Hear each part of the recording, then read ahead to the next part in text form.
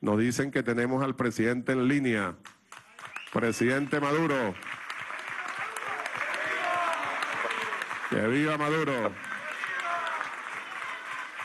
Nos oye, presidente. Vamos a oír al presidente. Los escucho.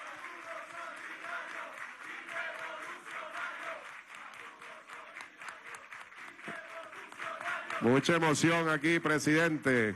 Sí, he por estado todo lo que pendiente hoy. debatiendo, pero fundamentalmente por su llamada. Adelante. Bueno, un pequeño saludo que quiero transmitir porque he estado muy pendiente de las consultas y el debate que se ha abierto a partir de la iniciativa constitucional de convocar la Asamblea Nacional Constituyente. Que sea un gran proceso popular, democrático, libre, de construcción de las respuestas que necesitamos para establecer la paz con justicia, la paz con igualdad, la paz con pueblo, la paz con soberanía. Verdaderamente impresionante y emocionante también los debates que se han dado.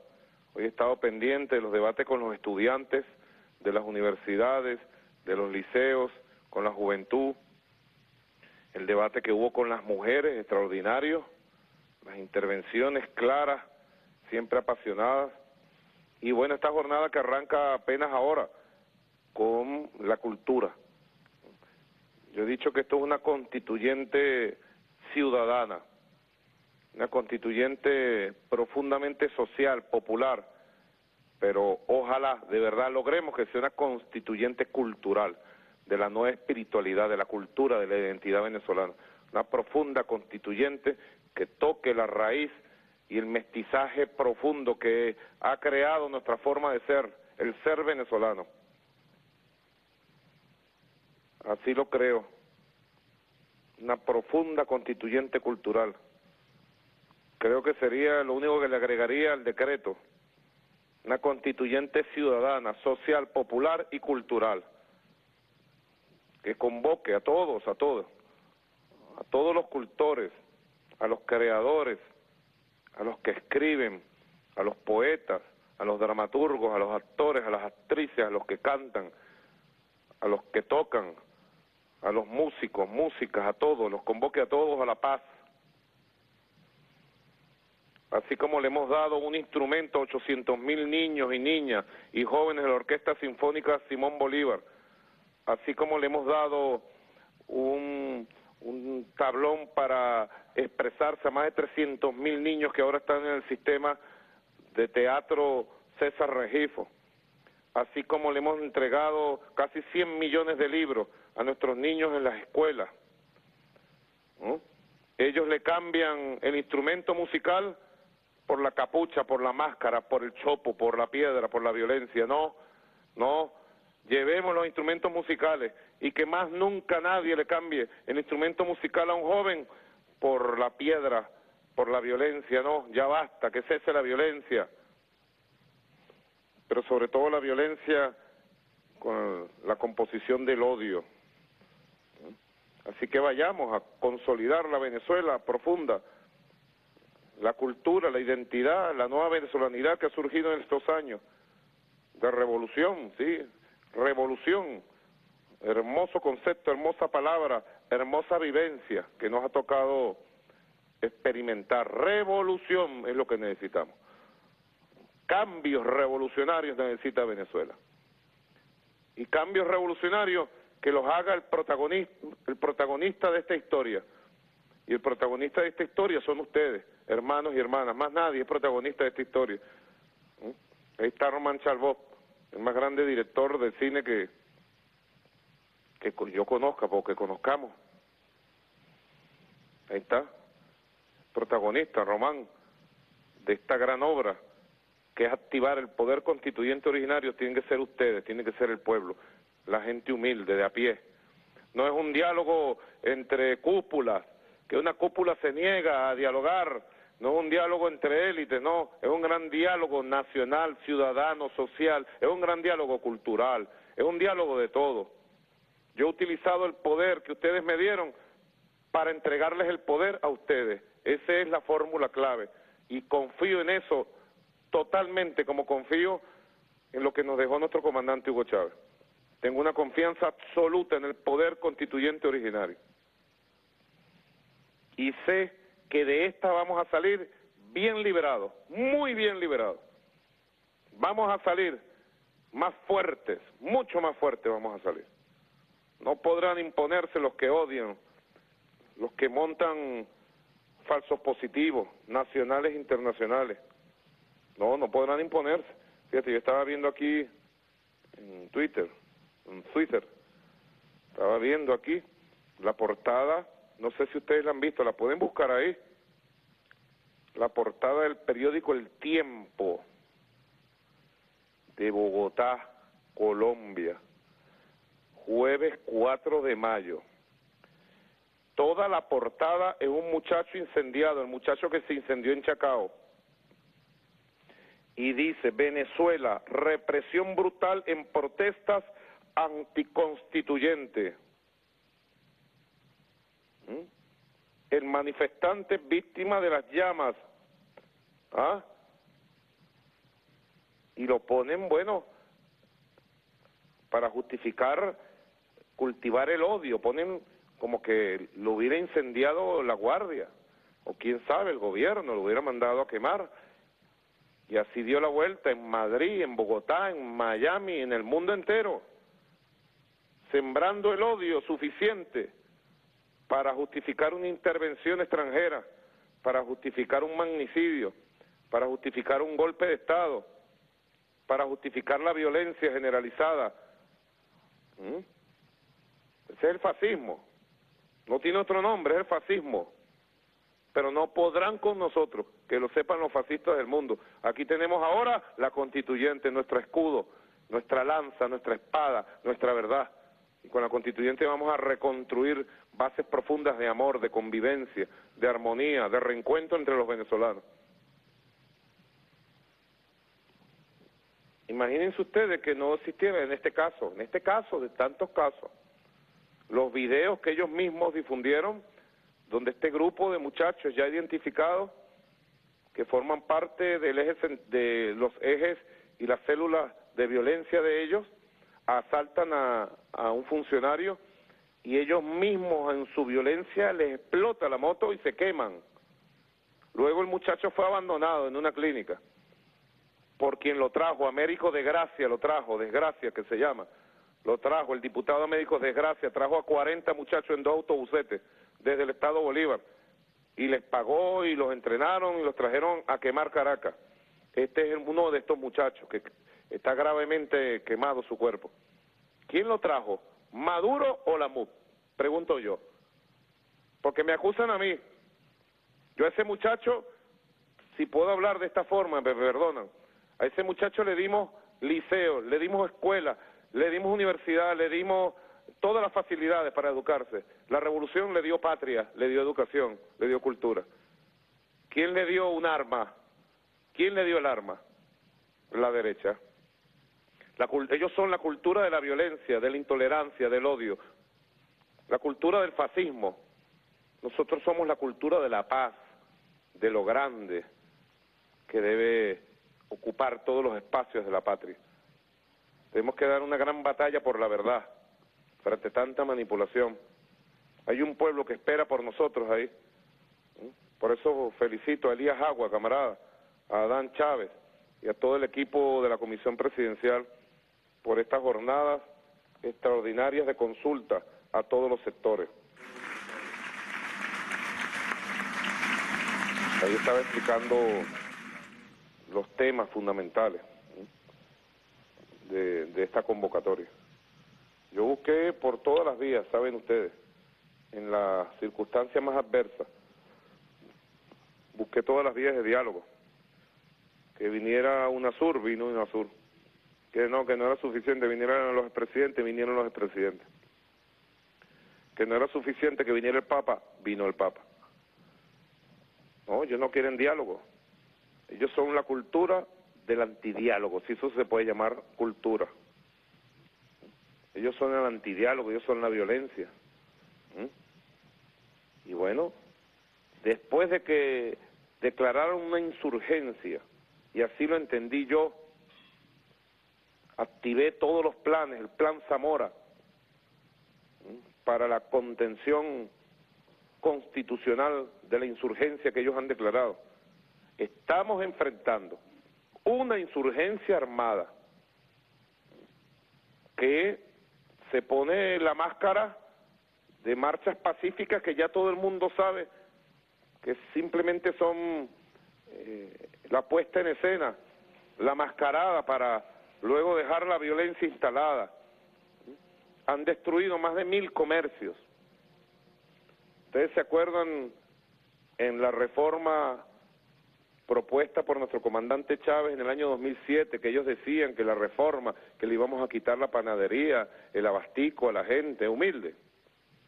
Bueno, los únicos que le han quitado el abastico, el comercio, la venta empanada y sus negocios a los humildes, a los que trabajan en los barrios y en los lugares populares y en las calles, son ellos porque le han quemado y saqueado más de mil comercios a más de mil hombres y mujeres que trabajan y viven de su trabajo han quemado más de 100 unidades modernas del sistema Metrobús.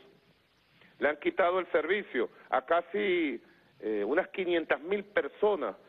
El servicio de Metrobús se los han quitado. Han atacado un hospital, el materno infantil. Pero el diario El Tiempo de Bogotá, la basura de la oligarquía bogotana, silencio, porque ellos solo nos odian a los bolivarianos y tienen ya sus planes listos para ellos venir a Bogotá, desde Bogotá a Caracas a gobernarnos. Mejor no le respondo con lo que hay que responderle porque estamos en la hora de la cultura. ¿Mm? Entonces, atacar un materno infantil, un hospital, quemar bibliotecas, atacar ambulatorios de barrio adentro.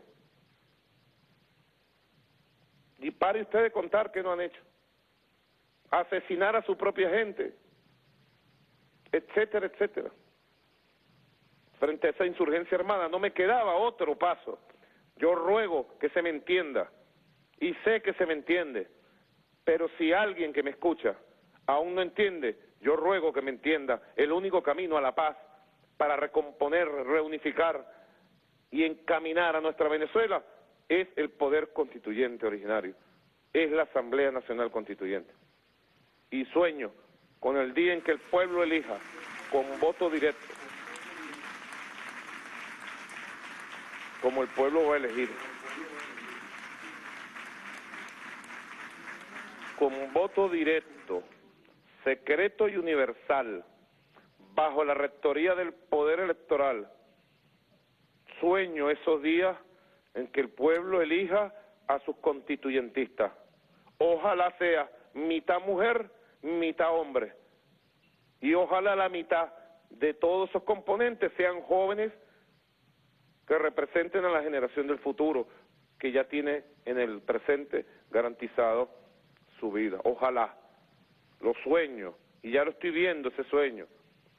Somos la generación que Chávez nos llevó a ver la cara a la victoria, la cara a nuestros sueños hechos realidad.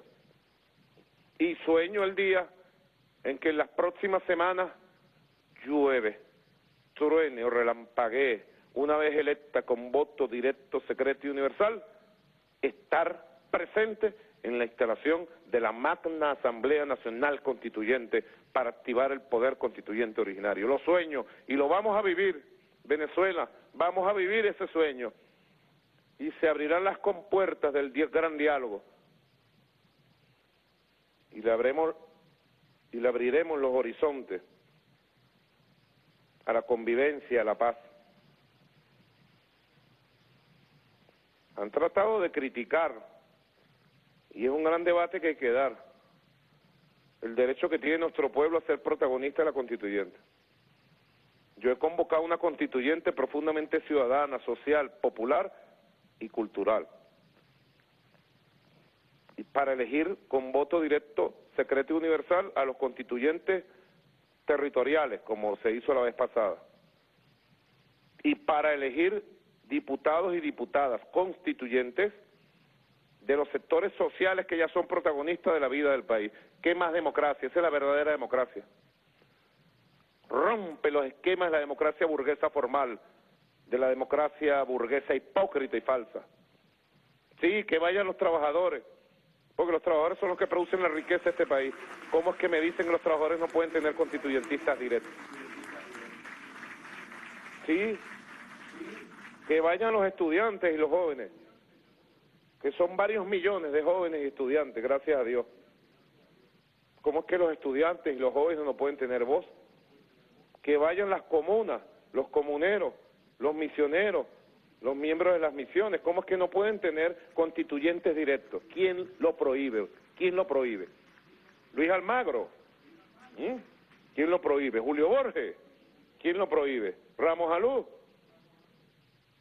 Yo estoy convocando a la democracia verdadera, profunda, protagónica, participativa. Y a la democracia directa, sí, directa. Que le arda a quien le quiera arder. Creo en la democracia directa que tenga la voz, que tenga el espíritu directo del trabajador, de la clase obrera, del profesional, del estudiante, del joven, del comunero, del misionero. Qué alegría me dio ver el debate ayer con los movimientos sociales de las personas con alguna discapacidad. ¿Mm? Bueno, que elijan a sus constituyentes. Tienen su base, tienen su fuerza. Qué feliz me voy a sentir el día que yo vea a los constituyentistas que representan la voz y la fuerza de las personas con discapacidad, por primera vez en la historia de la humanidad, con sus diputados y diputadas directos electos por ellos. Por primera vez en la historia de la humanidad. Como por primera vez en la historia de la humanidad hubo constituyentistas indígenas, de nuestros pueblos indígenas, en la constituyente del 99. Y ahora va a haber aún más constituyentes indígenas. Y nuestros pensionados bueno, ¿por qué los pensionados, si son protagonistas de esta época histórica han sido reivindicados, son más de tres millones, ¿por qué no pueden tener sus voces allí? Que esté la experiencia, la sabiduría de nuestros pensionados, que esté la fuerza de esperanza y de futuro de los estudiantes y la juventud, que esté la columna vertebral de los campesinos, de los pescadores, de las campesinas, de la clase obrera. Creo en una constituyente profundamente social, Así que bueno, grandes debates que nos apasionan. Ha salido una consigna, yo escucho una consigna que creo que tiene sentido. Las mujeres la cantaban hoy. Constituyente sí, violencia no. Constituyente sí, guarimba no. Y en la Plaza Caracas escuché una consigna que cantaba el pueblo de Caracas, una gente que había ahí de San Juan, del Valle y de Petare, gritaban una consigna. Cuando yo dije, ¿quieren diálogo? Bueno, ahí tienen diálogo constituyente. ¿Querían elecciones? Ahí tienen elecciones. Elecciones para el poder originario. Y la gente empezó a gritar, votos sí, balas no. Votos sí, balas no. El pueblo tiene sentido lo que debe ser su destino. Y vayamos entonces, yo los llamo a ustedes, queridos compatriotas, escritores, poetas, actrices, actores, pensadores, pensadoras, artistas plásticos, están artistas plásticos de gran renombre, a ustedes, dramaturgos, cineastas, intelectuales, a todos y a todas los llamo que se conviertan en un gran motor. Váyanse a los espacios culturales, a UNEARTE, a los teatros, váyanse a donde están las orquestas, váyanse con corazón llanero a cantarle al llano profundo y a decirle constituyente, al corazón salsero de los barrios a decirle constituyente, al corazón urbano a bailar rap, hip hop y a decir constituyente, al canto, a la canción necesaria de Ali, ahí vía Sol, un abrazo Sol, y a todos los aliprimeristas que nos abrazamos y decimos con Ali constituyente. Váyanse ustedes entonces con su palabra, con su amor. Este es nuestro destino. Busquemos la victoria por la vía de la constituyente. Busquemos la paz por la vía de la constituyente. Y hagamos una constituyente profundamente cultural que sea inolvidable para todas las generaciones que vengan hacia el futuro. Que sea inolvidable que nos permita marcar el rumbo de lo que debe ser nuestra patria.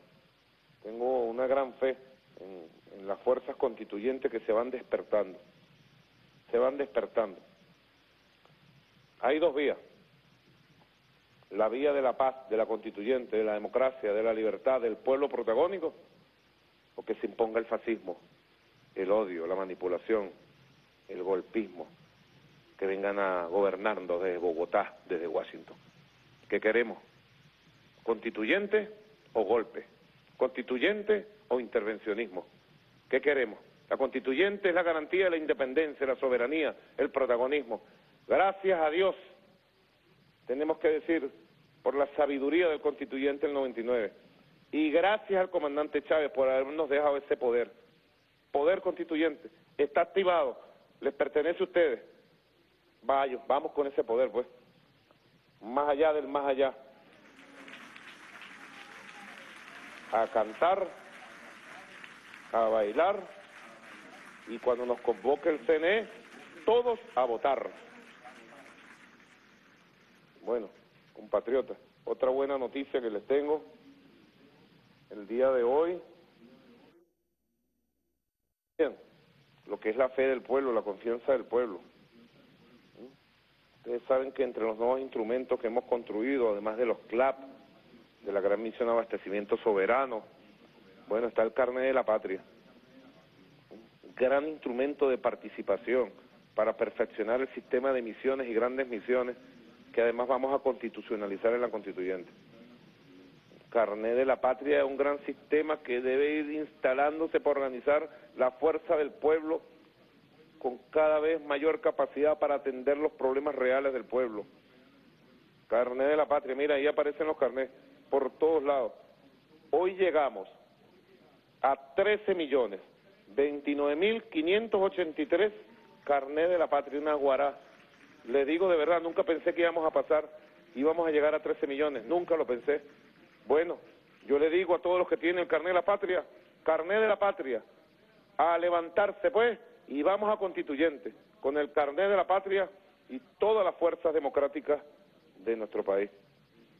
Que Dios bendiga a las fuerzas del pensamiento y la cultura.